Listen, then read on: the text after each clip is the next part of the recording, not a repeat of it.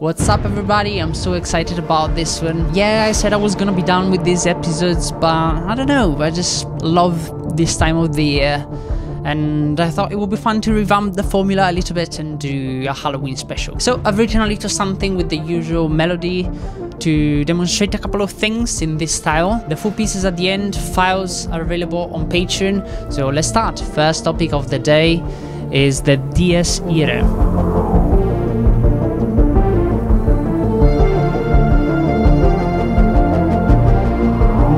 I'm not butchering the name. I know, I'm aware everybody calls it the Dies Irae, but um, it actually comes from Latin. The English translation is the Day of Wrath, and this is basically like a super ancient Latin chant that describes the Judgment Day. The trumpet summoning souls before the throne of God, where the saved will be delivered and the unsaved cast into eternal flames. This little motif permeated medias of all kinds and is being famously referenced to represent death and the feeling of dread in lots and lots of film scores, most notably in The Shining. And of course, if you've watched the movie, you'll see how this is a perfect use. It's not only being used for horrors though, here's a few others off the top of my mind.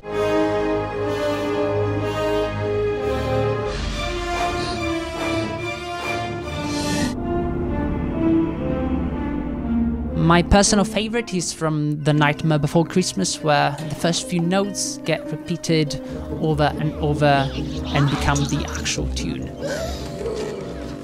The way I use this little melody in my own piece is a little bit more loose, you know, most times hidden under other parts. It works great as a bass part, for example, as you can hear it here on Celeste. Also, if you want to deliver the message in a much bolder statement, it works great on brass and tubular bells.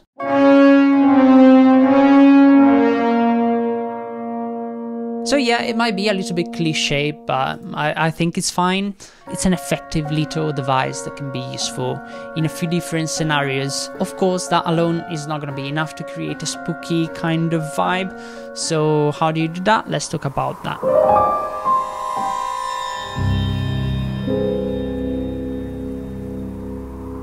There are a couple of different instruments often coming up in the genre, and if you're going for a more retro sci-fi kind of vibe, we have of course the theremin. The most famous example in cinema may be from the movie The Day the Earth Stood Still.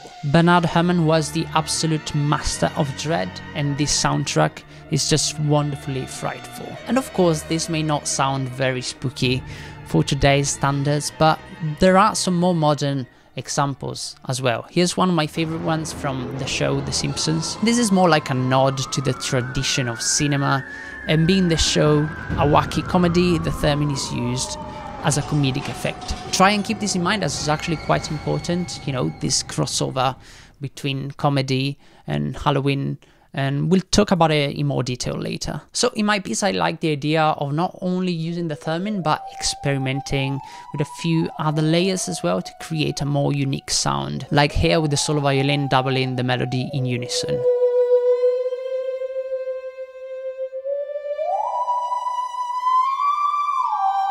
Or here as well with the bass flute and English horn doubling at lower octave.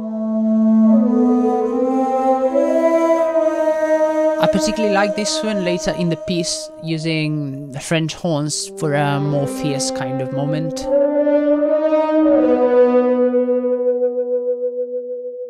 Another common instrument normally associated with Halloween, maybe a little bit less niche than the theremin, is the pipe organ. Why is that though? Well, the easy answer, which is really all we have time for today, is that a lot of these stereotypes are created by Hollywood itself. Some of them can make a little bit more sense than others, of course, like the theremin being used a lot in sci-fi because it literally sounds like a weird alien instrument. But when it comes to other stuff like the organ, this is probably because, you know, the instrument has been used for decades over and over to represent like bad guys. The way I used it is much more subtle, mostly for background alongside other church-like instruments like bells and choir. It's certainly not the protagonist here, but it contributes to a specific atmosphere and this is key. What these spooky sounds are doing really is just establishing a vibe by,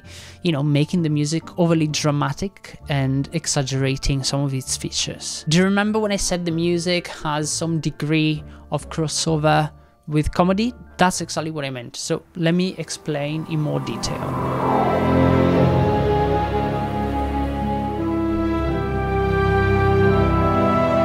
So this is similar to what you would do with comedy, right? Like exaggerating every single little thing and playing all the stereotypes. But within the context of a Halloween piece, what you get in return is a much more grotesque, peculiar atmosphere, and that's because of the harmony and the orchestration. Basically, and I know I'm oversimplifying, but in truth, Halloween music is an overly theatrical version of horror with some fantasy and comedy elements that sometimes manage to sneak their way in. The absolute master of this, and you all know I couldn't not talk about him, is the great Danny Elfman. A lot of his work in collaboration with Tim Burton shows these very features, you know, combining horror music tropes with fantastical or comical elements with the music being a vital part of the movie's atmosphere. Two great examples are the films Sleepy Hollow and Beetlejuice. They're fascinating because while employing more horror tropes and imagery than fantasy,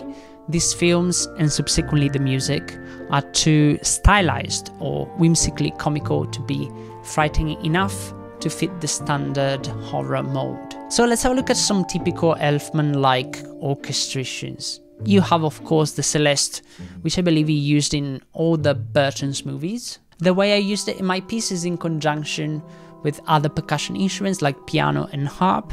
And this is just to make it my own a little bit more and create a slightly different color.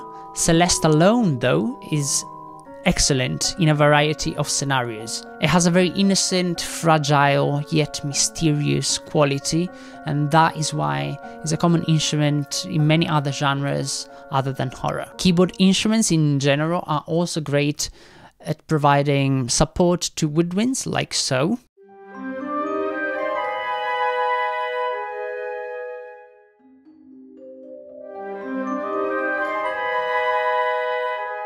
A different common orchestration Elfman often likes to use is an offbeat string pizzicato. This part lays underneath the arpeggio we played before and if we put them together you see how it makes it a little bit more quirky.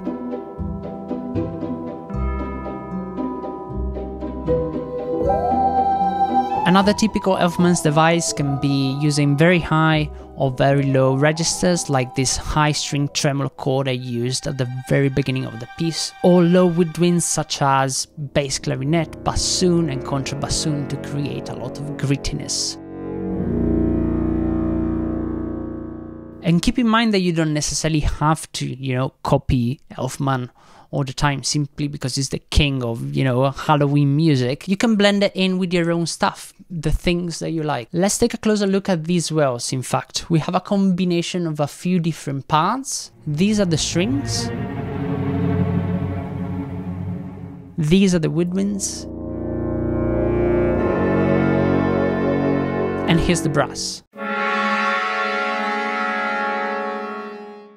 The muted brass is like the little cherry on top, right? Like if we combine all these elements together, you get a very peculiar, distinctive kind of mood. It's background stuff, but it works well within the section, you know, making the music a little bit harsher, more dramatic or theatrical. Everything we have been talking about so far, you know, without these swells, the music would be a little bit too simple. The rest of the orchestration for the piece is, you know, normal stuff combined with some of the things that we have been talking about, plus a couple of quirks. A very unusual instrument you find from time to time is the harpsichord. I believe the reason may be to exaggerate the sense of nostalgia for older times, you know, to be overly retro. Secondly, and this is actually important enough to be a topic on its own, is how orchestration should convey a sense of melancholy.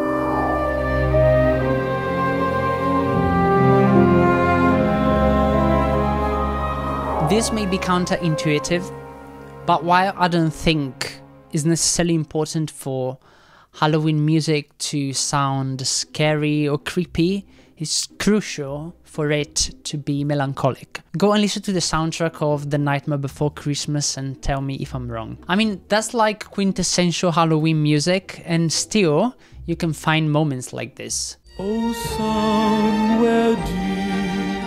inside of these bones. That's a particularly strong example, of course, but a lot of this kind of music comes from a melancholic place. You'll oftentimes see woodwinds and solo instruments picking up the melody, so let's take a look at this section, for example. We have the English horn and alto flute on the melody, and some solo strings on the chords.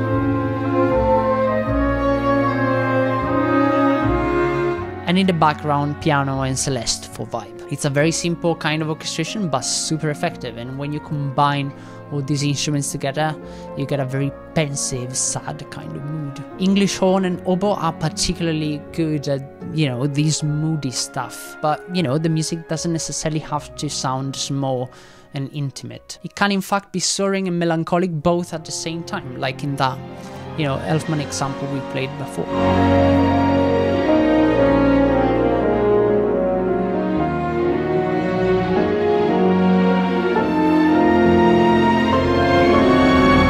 What we have here is a combination of a few different things. Firstly, a run on piano, and what's important is the downward motion. The rest of the orchestra is quite static, basically just holding a chord. Then the melody goes to strings and winds, once again with the English horn supported by the violins, and the rest of the woodwind section later, while the rest of the orchestra is simply contributing to the build up. So this moment is particularly dramatic because the music is progressively getting bigger and higher in register while it's moving slowly and insisting on the same couple of cadences. So that's the trick. That's about everything I wanted to talk about today. So uh, let me show you the piece in full.